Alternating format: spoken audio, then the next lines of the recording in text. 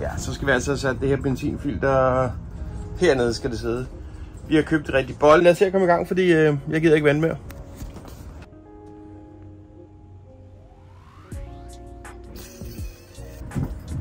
Ja, så fik jeg sat nogle bolde, sådan der jeg fik spændt fast, sådan at vi kan sætte filteret på. Det tror jeg altså fungerer bedre.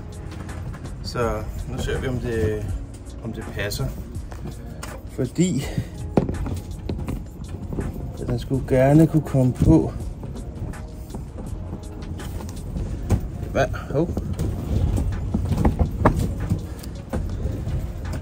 Sådan her, fordi så kan man maste ind, og så sidder det altså helt fast. Det tror jeg altså er en god løsning, det der. Så har vi den her boks, vi har ledning over det hele. Nu fjerner jeg lige den her ledning her. Det her benzinfilter, der vil jeg gerne have nogle møtrikker på, for ligesom at have sådan nogle afstandsstykker. Så det har jeg købt med. Så nu prøver vi, om vi kan tage det af igen. Så sætte en afstandsstykke på der. Og der er ikke noget lys nu. Afstandsstykke der. Sådan justere. Ja, det er lige... Øh, så købte jeg nogle skiver. Jeg ved ikke om de... Uh, de passer perfekt. Nogle grusfri møtrikker.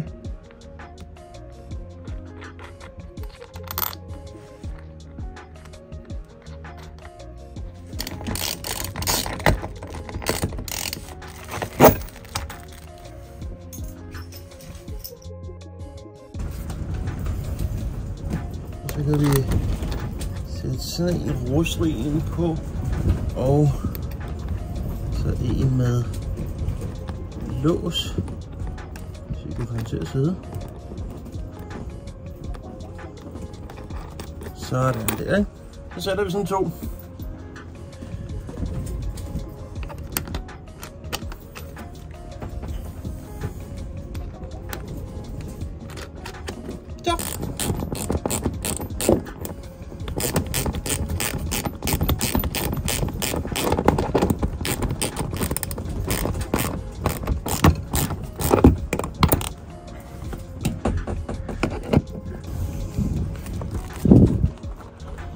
Den her, den sidder dernede, så det er spot on, men det kan ikke være bedre. Sådan der, det er altså en, øh, det finder nu så langt.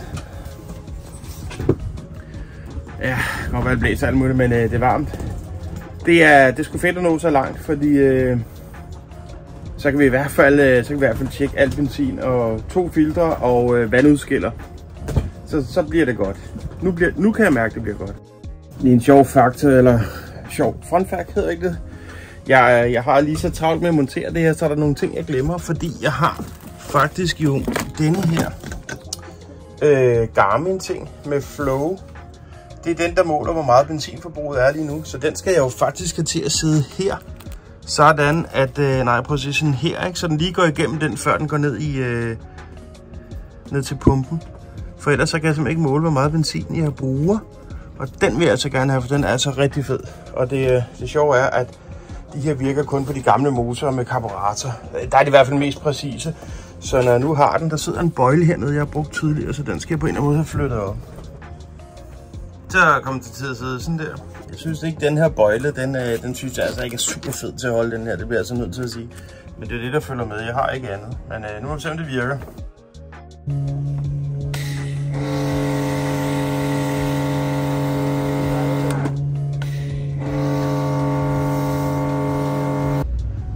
Styr på det der? Nej, det er jo. Sådan skal det være. Hvad med dig? Det går der ud af. Så vi til flage ved Flapper Yard. Det er ude af vasten her forleden dag, og vi nåede at vaske den hele. Men så begyndte det at regne, så må vi tage afsted igen. Og det er lidt ulempen, når man er så langt væk. Nå, så i dag der har jeg lige nogle pletter her, jeg skal male. Det var der, hvor de stod sidste år. Så renser vi lige af. Jeg maler med noget light primer et par gange. Og så skal vi have bundmaling. Og jeg så en anden båd med til den her, der har malet det her sort. Så synes jeg var meget pænere, fordi der ligger over vandet. Så kommer der altså det der. Så det kan godt være at gøre det. Det skal jeg lige se. Det skal vi lige se. Jeg ved ikke sgu ikke, om vi behøver at pille det her af. Nå, det finder vi ud af. Polering. Og jeg mangler lige præcis den der derhjemme. Jeg glemte at tage den med. Vi malet pletterne herunder. Og så skal det tørre. Så skal det have en gang til. Faktisk to gange mere. Og så, øh, så skal vi have bundmaling bagpå. Nu går jeg lige i gang med at polere. Prøv at se det her. Det er helt åndssagt. Lige før overveje at tage noget folie på i stedet for. Ny dag, flapper jeg.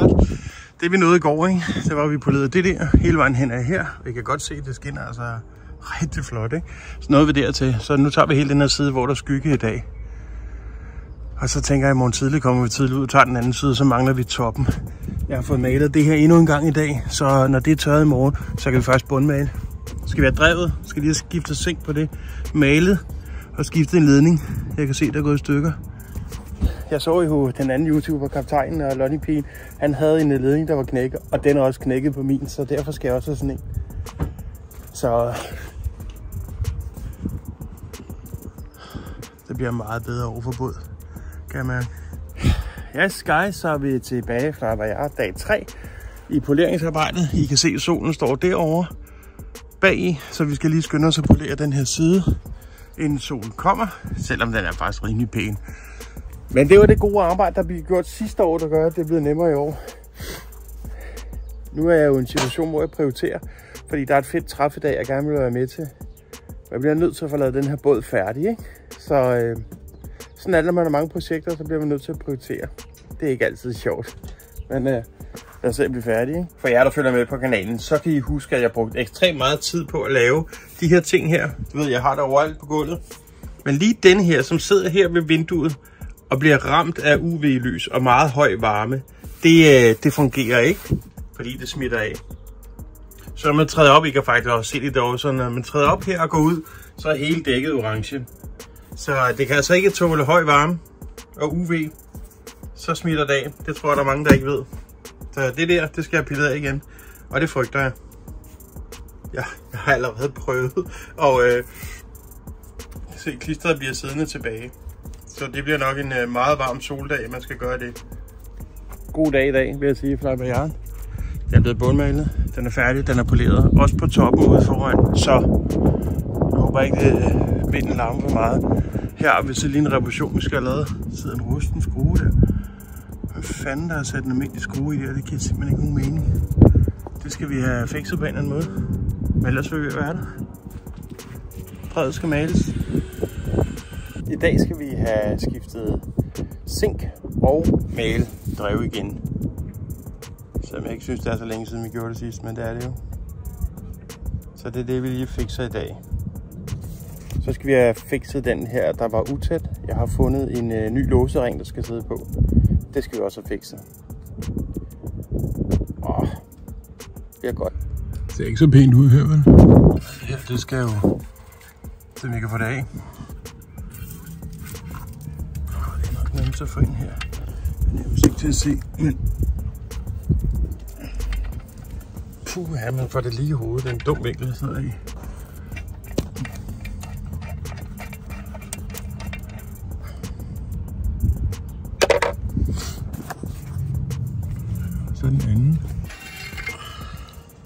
Ja. Puh, ja. Så er det altså bare om at gå hjem og skaffe nogle handsker på, faktisk. Få gjort det her rent, og så lægge nye på. Herinde bag i, ikke? Jeg har købt sådan en kit her i Biltema den her gang. Øh, jeg tror ikke, der er noget specielt ved det. Det var billigere, end det jeg købte sidste år. Så der har vi øh, den nye fine. Holder kun en sæson. Og så øh, nye skruer det hele med. Det er rart, at det er med hver gang. Så på med spændeskive, så de bliver siddende på hele sæsonen. Og øh, den her skal nedad, den her skal opad. Og så er det i med boldene her. Og spænde godt til, så de får god forbindelse.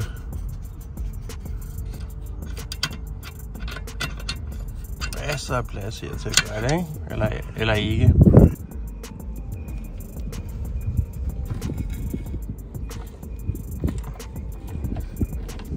easy.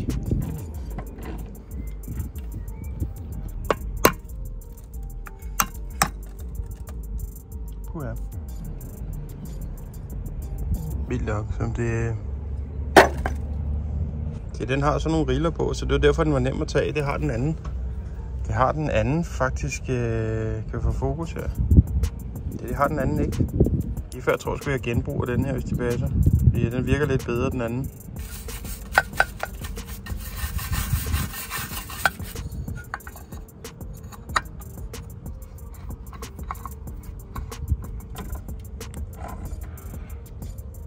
Så sidder den i moment.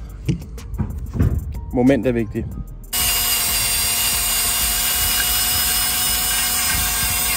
Så fik vi altså malet drevet færdigt. Der kom lidt overspray herover. Jeg troede ellers, jeg var sej, men altså, det gør sgu ikke noget.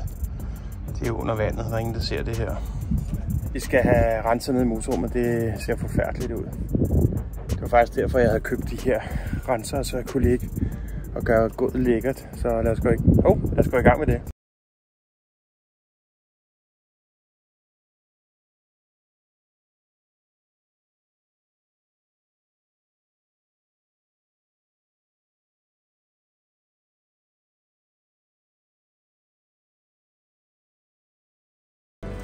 igen noget biltema-produkt. Øh, men ellers så er jeg nogenlunde færdig her. Øh, alt det her indeni, det gør vi altså rent, så snart den kommer i vand. Så nu må vi se, om den så har en hel sæson i sig.